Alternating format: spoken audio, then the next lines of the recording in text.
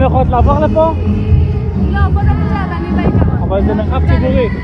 לא, תשמע, עכשיו סוגרים את זה בשביל הריקוד גלים, כי פה בנות רוקדות ושם בנים רוקדים, אז נשים לא יכולות. לעבור מפה? הן עוברות בסוף, אבל לא רוצים שהם יגיעו לאזור שהבנים רוקדים, הבנת? אבל זה רחוב ציבורי. לא, בסדר, אני לא כאילו עכשיו יחסום אנשים מללכת פה, אם מישהו הולך הביתה הוא הולך. לא, אבל לא, קיבלת בסוף- הנחיות לא להעביר אנשים? קיבלתם הנחיות לא להעביר אנשים בשביל